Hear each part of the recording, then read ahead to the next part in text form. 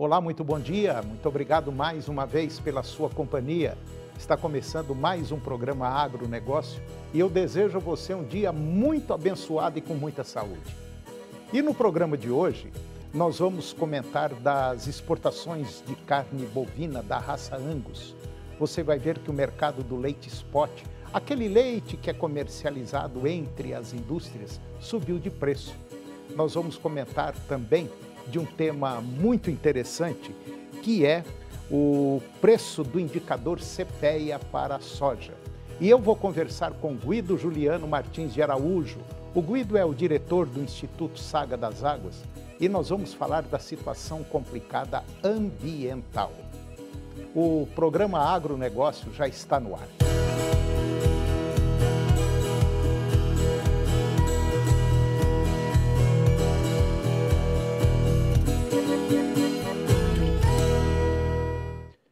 Eu começo o programa de hoje falando das exportações de carne bovina da raça Angus. Em 2023, no ano passado, ele foi marcado por diversos recordes. As exportações brasileiras de carne Angus certificada atingiram volume inédito, representando 68% de, de crescimento em relação a 2022, de 1.800 toneladas em 2022 para 2.800 toneladas comercializadas no último ano.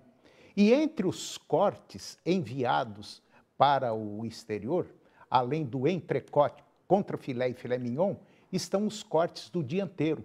Nós tivemos dois destaques no último ano: o fortalecimento expressivo das exportações para o Oriente Médio fruto de um trabalho realizado pela Associação Brasileira de Angus, e a retomada das vendas para os Estados Unidos, segundo a gerente nacional da carne Angus, Ana Menezes. E ela concluiu que a relação com o mercado norte-americano tem potencial muito grande para o Angus, que é produto industrializado. A China segue como principal consumidor de cortes Angus, com 43% de participação no volume enviado para o exterior e 1.200 toneladas, seguida do Oriente Médio, Arábia Saudita e Emirados Árabes, que respondem por 21,5%. Já os Estados Unidos respondem por 13% das importações, além da abertura de novos mercados como Espanha, República Democrática do Congo. E conforme informou a associação no último ano, o desempenho Angus também finalizou em alta. Ou nos abates houve crescimento de quase 9%, representados por mais de 502 mil cabeças abatidas, com acréscimo de 15% no volume de produção para 41 mil toneladas de carne. Os líderes para volume de abate foram Rio Grande do Sul, São Paulo, Mato Grosso e Goiás. E agora vamos comentar das exportações de soja. As exportações brasileiras de soja atingiram um marco histórico no ano passado. De acordo com dados da Secretaria de Comércio Exterior, a SESEX, totalizando 101.800 toneladas enviadas para o exterior. E o principal mercado consumidor, como sempre, a China. Ela contribuiu com 73% do volume nacional importado quase 75 milhões de toneladas ao longo do ano, registrando um aumento significativo de basicamente 39% em comparação com 2022. E essa tendência, ela é impulsionada pela competitividade dos preços brasileiros no mercado internacional e pela crescente produção no país. As informações são do boletim semanal do Instituto de Economia Agropecuária do Estado, IMEA o Brasil tem consolidado a sua posição no mercado chinês ano após ano, evidenciado pelo aumento de quase 8,6% nos últimos 10 anos. Em contraste, as exportações dos Estados Unidos para a China diminuíram anualmente em torno aí de quase 1,4% na mesma década, com o consumo chinês em 2023 mostrando aí uma leve redução em relação ao ano anterior. Em um panorama mais regional, o Mato Grosso exportou um volume recorde de 28,2 milhões de toneladas de soja do ano passado e mais uma vez a China representando aí 61% desse total, somando 17 milhões de toneladas. E falando de soja, vamos falar agora do preço da soja. Infelizmente, estão despencando. Os preços da soja, principalmente no mês passado, despencaram, segundo dados do Centro de Estudos Avançados em Economia Aplicada, que é o CPEA, refletindo uma oferta que superou a demanda. E de acordo com o indicador Exalc BMF Bovespa, lá de Paranaguá, no Paraná, a média, a média mensal registrou 126,93 por saca de 60 quilos. Enquanto isso, o indicador CPEA Exalc Paraná atingiu 121 reais por saca, marcando uma queda expressiva de 13% em comparação com dezembro do ano passado. E esses valores, eles representam os níveis mais baixos desde julho de 2020, isso em termos nominais. Pesquisadores do CPEA ressaltam que a produção de soja não está tão restrita como alguns agentes de mercado sugeriram. Houve sim um baixo volume comprometido com vendas antecipadas, e as perdas no Brasil devem ser mais do que compensadas pelo aumento na produção da Argentina e também do Paraguai. Por outro lado, o interesse da China na oleaginosa brasileira segue enfraquecido, impactando negativamente os prêmios de exportação e exercendo uma pressão sobre o mercado interno.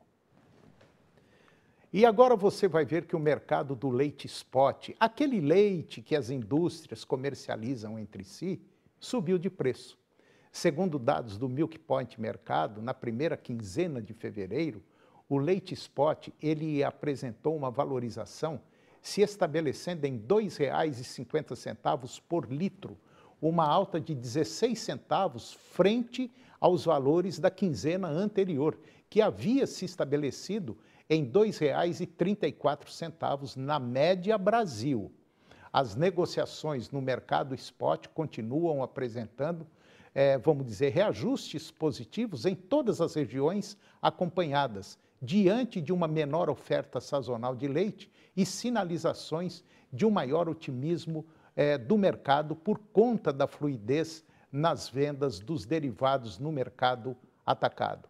Assim como na quinzena, nas quinzenas anteriores, os volumes negociados seguiram sendo puxados principalmente pelas queijarias, enquanto as indústrias de leite UHT, aquele leite de caixinha, se mostraram mais cautelosas nas compras do leite spot.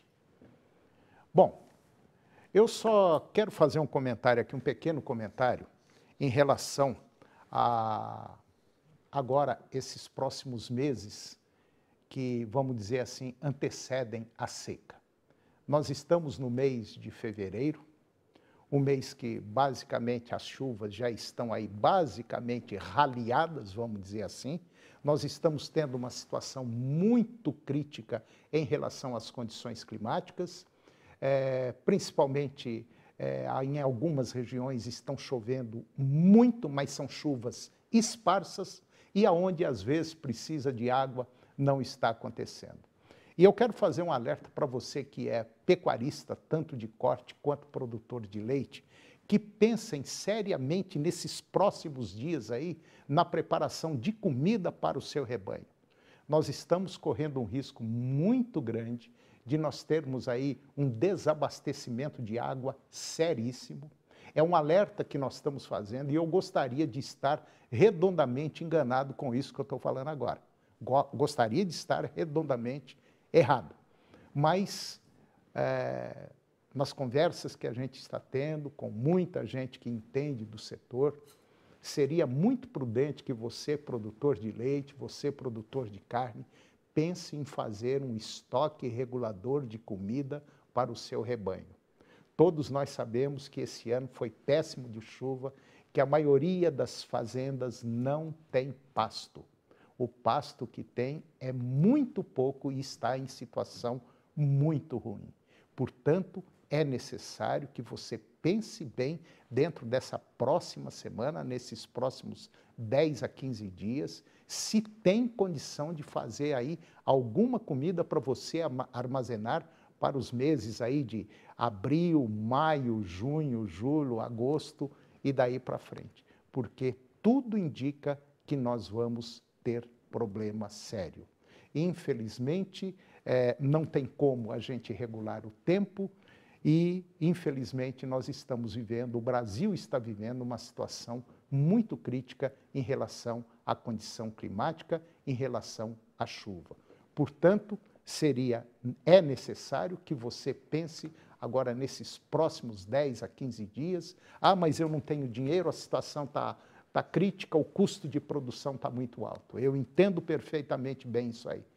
Então, você vai ter que, infelizmente, vende aí um bezerro, vende dois, vende três, mas transforme alguma coisa em comida para o seu rebanho para evitar um prejuízo muito grande dentro de um futuro muito próximo.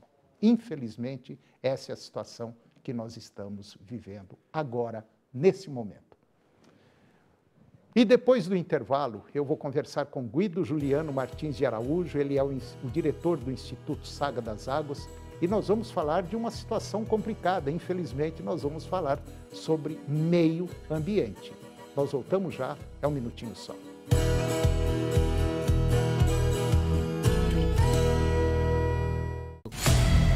É hoje. Sociopata, ele é um assassino frio. Hoje, 11 h 15 da noite. Fogo contra fogo. No Cine Espetacular.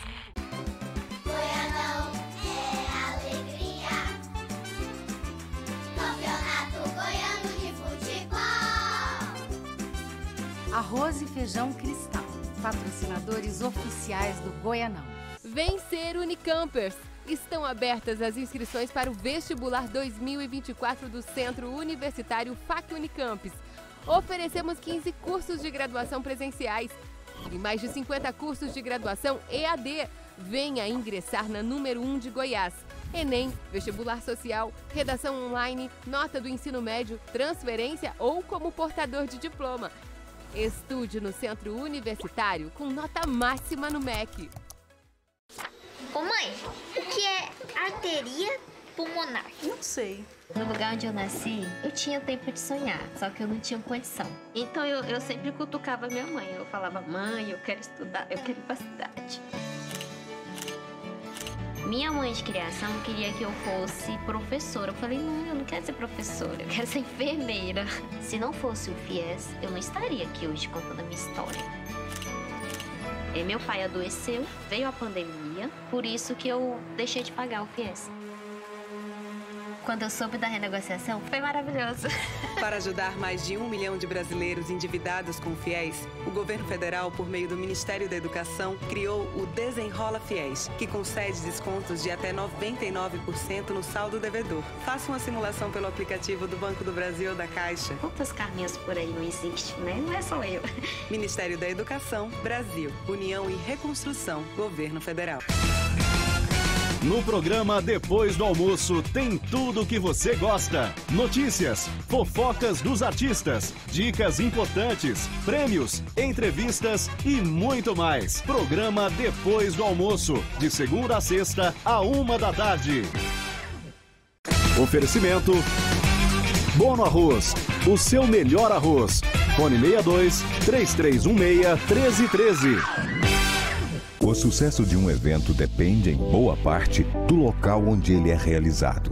Por isso, ao planejar e preparar o seu evento, seja ele de que natureza for, você precisa conhecer o Teatro João Alves de Queiroz. Um espaço ímpar, na medida da sua necessidade. O Teatro João Alves de Queiroz é equipado e preparado para oferecer o máximo de conforto e funcionalidade, com recursos disponíveis sem custo adicional, com a qualidade que você precisa. Faça-nos uma visita ou agende o seu evento. 32 35 20 28. Teatro João Alves de Queiroz. O sucesso do seu evento começa aqui. Rua 14, Jardim Goiás. Agronegócio. Oferecimento Moinho Fino. A vida só começa depois do café. De um bom café. Senar Goiás, a maior escola da terra.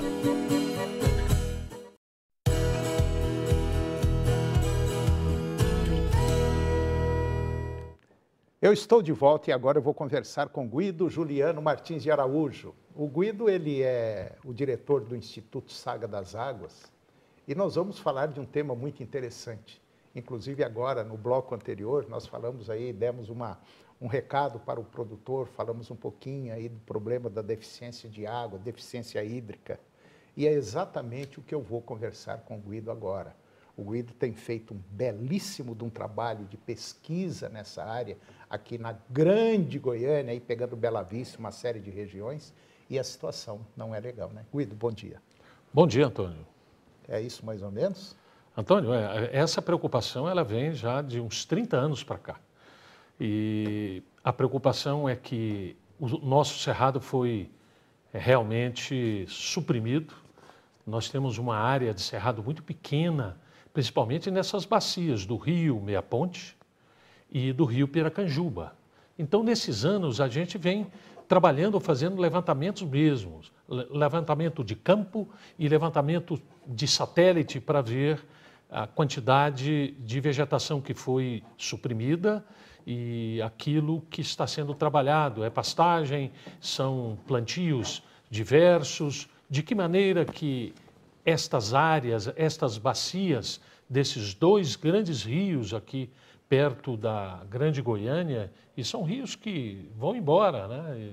passam em muitos municípios, e a preocupação é muito grande porque o que nós levantamos são nascentes secando, e secando muito rapidamente, então nós temos aí qualquer coisa em torno de 60% das nascentes originais dessas duas bacias, elas foram, elas secaram, elas morreram. Então fica muito, é uma, uma situação difícil e que a gente só tecnicamente para fazer um levantamento e mostrar soluções ambientais e técnicas. Ô Guido, o que a gente pode observar é que Goiânia ela vem crescendo assustadoramente, as pessoas estão inchando Goiânia, e o que a gente vê é que parece que, mesmo com a, a construção da barragem do João Leite, não vai ser o suficiente para segurar. E nós estamos vendo aí essa bacia do Meia Ponte, basicamente não, esfacelada, né, Guido? Antônio, realmente é uma bacia que nós precisamos colocar mais atenção pelo seguinte: a bacia do Rio João Leite, esse projeto foi feito há mais de uma década e Goiânia cresceu muito nos últimos dez anos e a gente sabe que esta, esta, esse represamento no Rio João Leite e eu trabalho em cinco municípios que onde o Rio João Leite passa é, esse, essa quantidade, essa vazão desse rio é insuficiente pelo tamanho de Goiânia e, e, é bom lembrar que nós abastecemos também uma boa parte do município de Aparecida, que hoje tem mais de 500 mil habitantes. E outra coisa, o Alto Rio Meia Ponte, onde nasce o Rio Meia Ponte e passa por 10 municípios, vem trazendo uma poluição muito grande e nós levantamos nos últimos anos, nos últimos 10 anos, a, a bacia do Meio Ponte até a chegada em Goiânia, nós tínhamos 1.078 nascentes. Hoje são menos, né? E eram quase 4 mil nascentes e que secaram, secaram por conta exatamente do desmatamento do cerrado e a ocupação. É, são terras muito boas, né?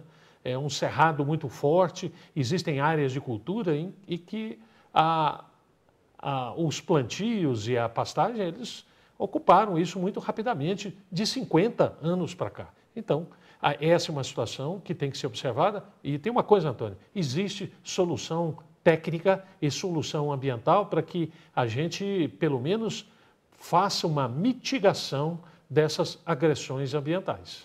É, o Guido, mas aí tem um outro ponto importante. Tem que haver uma vontade política, principalmente política, porque nós não temos, nós não temos uma política direcionada para valer para o setor agro, Guido.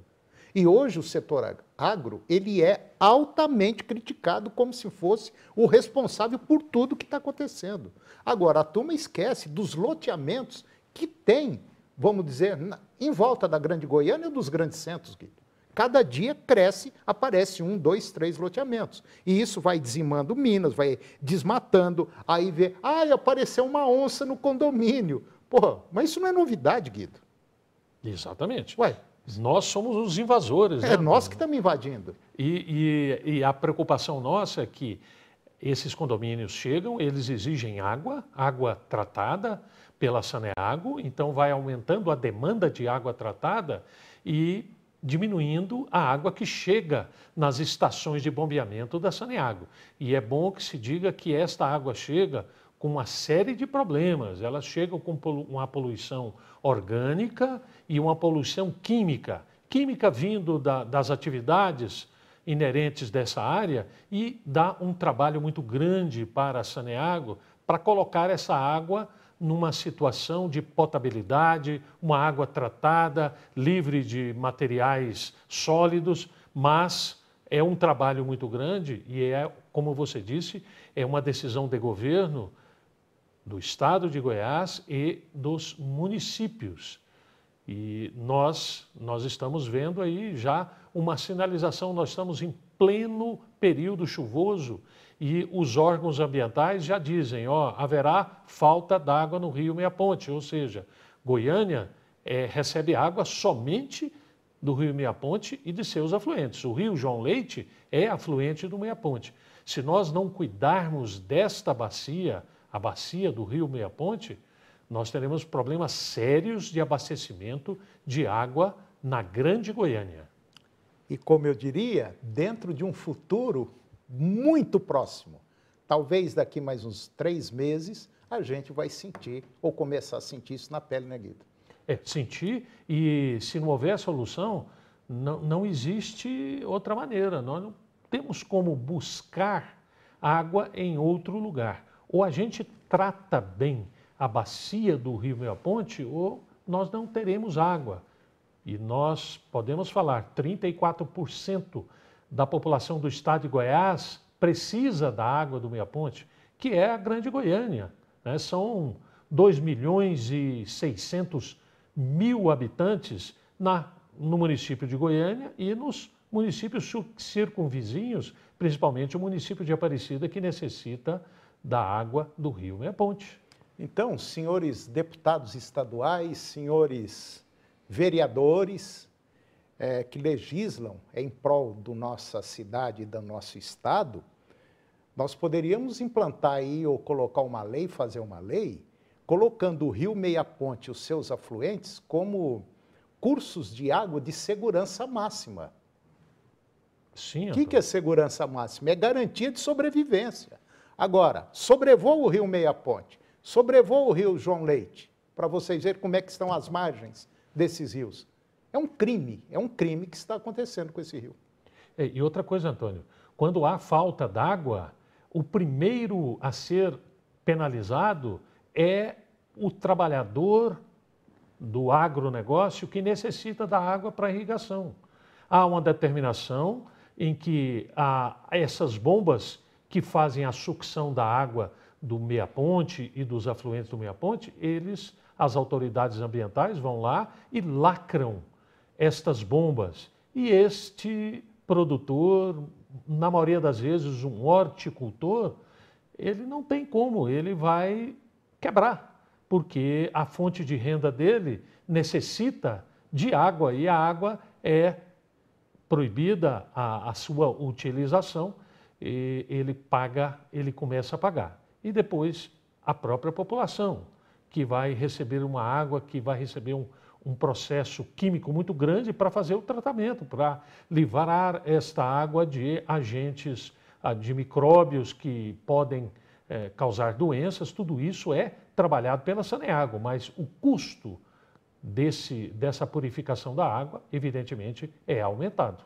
Ô Guido, tem só um pequeno detalhe nisso aí. Você que é consumidor de hortifrutis, você vai pagar um preço exorbitante, porque a maioria, A maioria das, das, das culturas que tem para plantar tomate, pepino, cenoura, alface, seja lá o que for, é tudo a céu aberto e utiliza a água de onde? Principalmente da bacia do Meia Ponte e pequenos ribeirões.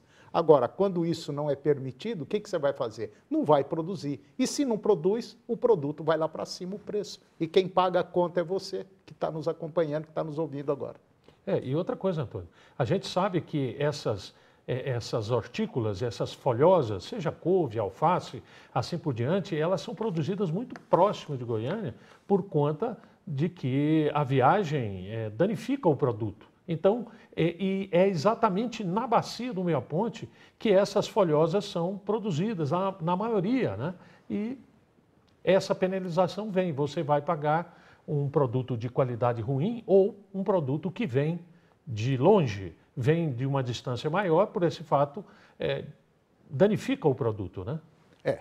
Então, senhores políticos, atenção, porque é uma situação delicada e eu acho que já passou do momento de nós aproveitarmos o lixo que Goiânia, Aparecida, Anápolis, aqui Trindade, essas cidades aqui que rodeiam, que margeiam a Grande Goiânia, que estão na Grande Goiânia, Passou da hora já da gente começar a fazer o nosso fertilizante, passou da hora da gente produzir o nosso gás, principalmente para esses ônibus e táxis que rodam aqui dentro de Goiânia, que poderiam estar rodando com gás, que poderia sair do lixo que a gente mesmo produz, e a outra coisa é a água. Eu acho que passou da hora de nós juntarmos e protegermos esses mananciais hídricos que estão aqui dentro do município de Goiânia.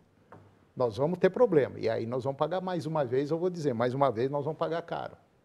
Exatamente. Nós precisamos eh, observar que esse lixo que é atirado nos mananciais, ele pode se transformar num recurso, desde que não se jogue no, na, nas margens dos rios, nos leitos dos rios, e se dê um tratamento adequado a esse lixo e ele passe a ser realmente um recurso que gere renda e, como você falou, tem a, uma parte do lixo, o lixo orgânico, que nós podemos produzir gás e produzir o fertilizante orgânico, né?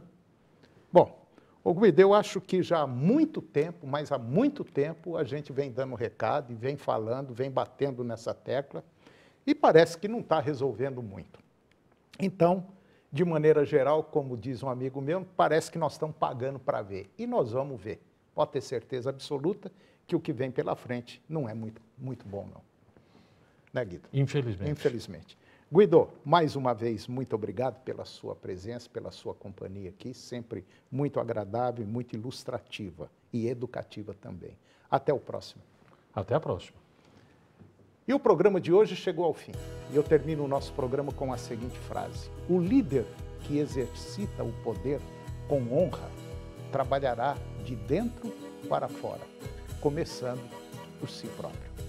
Um grande abraço, muito obrigado pela sua companhia, que Deus nos abençoe e até o próximo programa. TV Serra Dourada SBT Goiânia. Agora suas manhãs têm mais alegria na TV Serra Dourada com Silvier Alves, de segunda a sexta às 11h15. A seguir, primeiro impacto continuação